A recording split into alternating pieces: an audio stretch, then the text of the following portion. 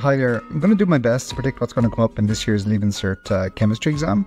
Uh, let's start with the mandatory experiments in section A. I, I think it's really worth focusing on these, and if you can do three of these questions in this section, it'll really set you up well for section B, where you'll have a lot more choice for material that's a bit more unpredictable. For question one, then, the titrations, it's been quite a few years since we've seen the ethanoic acid titration.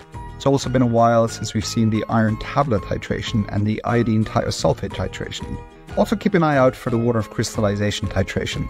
For question two, our organic experimental question, it's a bit more difficult to predict because sometimes question two is spread out over a number of questions.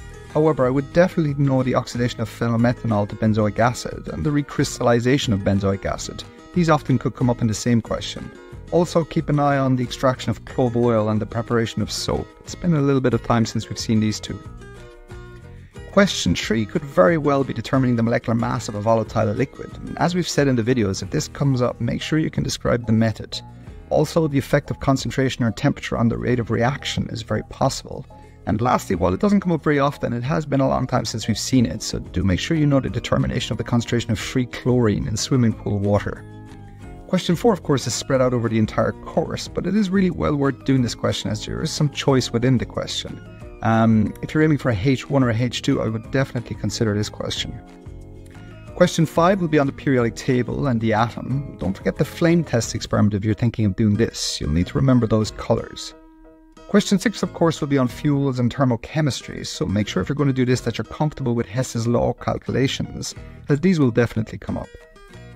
This year, I think chemical equilibrium will make up a full question, so that will be either question 7 or question 9. So make sure you're good with these calculations if you're going to do this question. pH and indicators will probably make up the other question, either 7 or 9. They didn't get a full question last year, so I think they probably will this year. Question 10 and 11 are pretty predictable. There'll be a stoichiometry question, oxidation reduction will appear here, so make sure you can balance those equations. Bonding will also probably appear in 10 and 11 if it doesn't come up as part of question 5 with the periodic table and the atom. Maybe radioactivity will get a part of 10 and 11. Water and environmental chemistry will probably show up somewhere here. It's hard to know what that will be about, but probably hardness in water, removing hardness. And make sure you know calculations on, on finding the BOD. Um, also keep an eye on chromatography. We haven't seen that in a long time. Lastly, if rates doesn't show up in question 3, where we look at the concentration and temp- how concentration and temperature affects the rate of reaction, then it'll almost certainly show up as a part of question 10 or 11. So make sure you know the ideal gas equation and how to use it. Okay, that's it. I hope that helps and the best of luck with your exams.